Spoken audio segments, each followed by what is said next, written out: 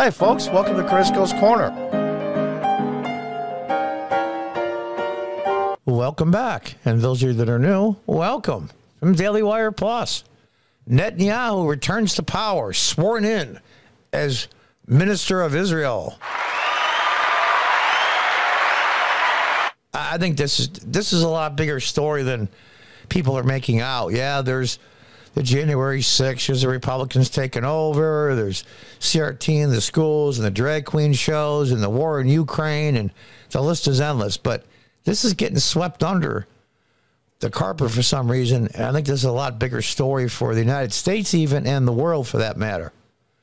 Netanyahu says the new government is determined to restore governance, peace, and personal security of the citizens of Israel. Israel is not a perfect country. So let's just settle that right now. Neither is the United States. But they are a lot more positive good, way more positive good, 100 to 1 as compared to the bad things. And the progressives, I mean, I even see here in upstate New York in a small town like Binghamton, people with free Palestine shirts on. I mean, you got to be, you got to be kidding me.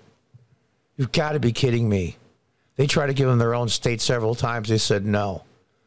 And those you just say, well, they're a democracy. Well, that democracy picked uh, Hamas as their government, a terrorist group. So let's just cut through before we all drown in it. And especially not because I'm a big Trump fan, still am. Netanyahu is very, very tight personally and politically with Donald Trump, President Trump. And those guys have been friends a long time, and not because uh, his Trump's son-in-law is is Jewish. They think a lot of the same ways. They look for their country's uh, strength, both economically and morally and militarily wise. And remember something: uh, younger people don't realize the Arab states went after Israel twice, and Israel kicked their asses both times.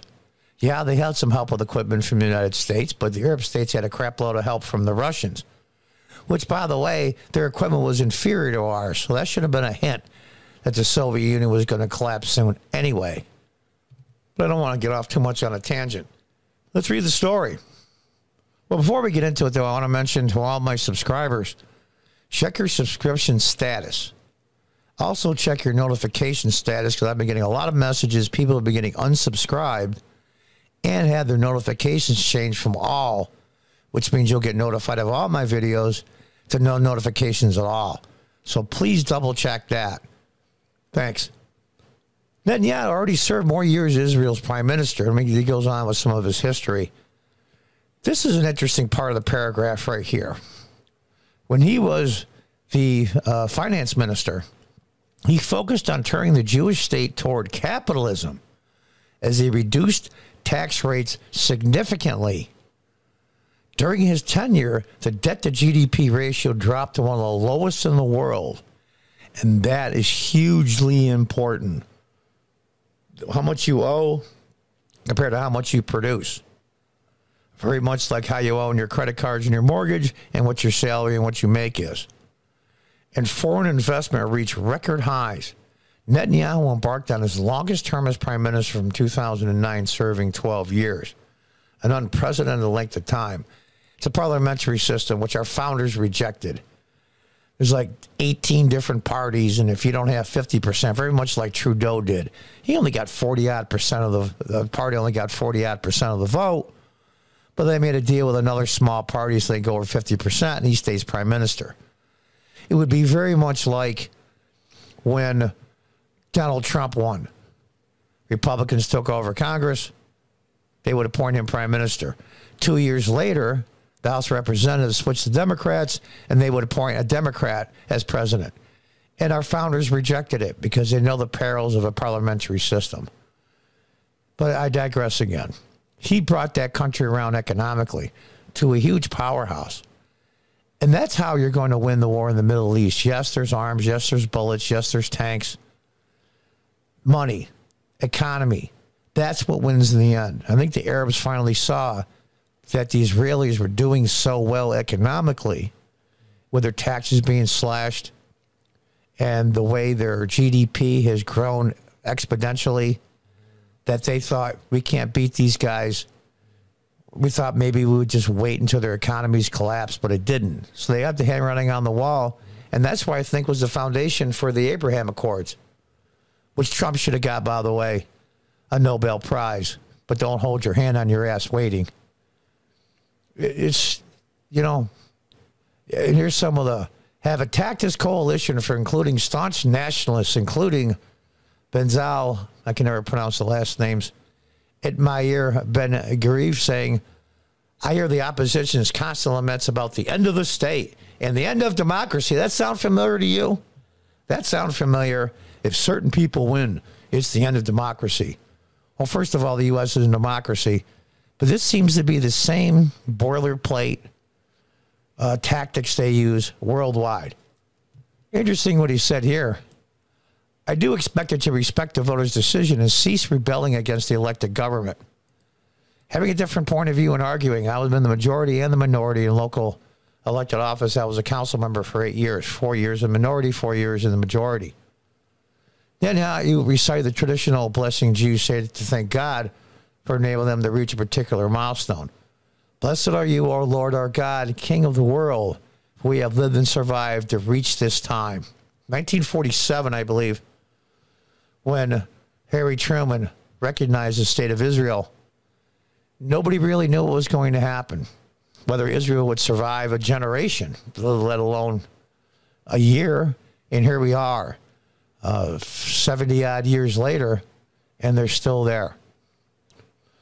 Uh, it, it's amazing they singled out one potential ally of the former prime minister as a huge problem for us. Yeah, the ally is Donald Trump. A Biden administration official, and this, this is the official administration's position on the election of Netanyahu to give you an idea what they really think. Said the White House would be troubled by the possibility that member of a member that's a really hardline conservative could head the right wing party, might become a prime minister in the future Israeli government, according to Israeli Hayom. That's interfering with foreign elections. It would be a huge problem for us, this official said. The person's not even running for prime minister. It's a potential in the future. This is not someone you want to see as part of the government. Yet Netanyahu is very smart and experienced and understands the consequences of such a development. This has not been discussed with him yet because, as mentioned, we are in an early stage. But there is no doubt that he understands. You ass. You know what? It was, and I'm sure uh, almost all the Biden administration people have a free Palestine T-shirt in their house somewhere. My goal is to work for the benefit of a Jewish, democratic, nationalist, and Zionist country, said the general, who was secular but had joined Gvir's party. I want to see sovereignty imposed, governance straightened, and settlements expanded. We have to strengthen our hold on the land against the view of the less wing parties who don't see the land of Israel as a primary importance. The only democracy and free state in all of the Middle East. And they're all fighting against them. All the Democrats, all the progressives, all the leftists. That should tell you exactly what you need to know. And I'll, I'll leave it with this no country, just like people, are perfect. There's some things that Israel has done I'm not proud of. They've done a ton of amazing things. Same with the United States, just like people. How would like the worst thing you've ever done to be brought out every single time you were talked to? It's not fair. If you've done a hundred times more good than you've done harm, I consider that a huge positive. But I'll leave you with this: these supposedly feminists and eh, people that want to give human rights to people the Muslims, Arabs, and especially women. There are no freer women, Muslims, or Arabs in the entire Middle East. The most freest Muslims are in Israel. Think about that for a minute. There's no Sharia law. There's nobody's going to come and beat the hell out of your wife because she dressed improperly or drove a car. The freest Muslims in the Middle East live in Israel. That's all you really need to know on who to support. And until the next time, goodbye and good luck.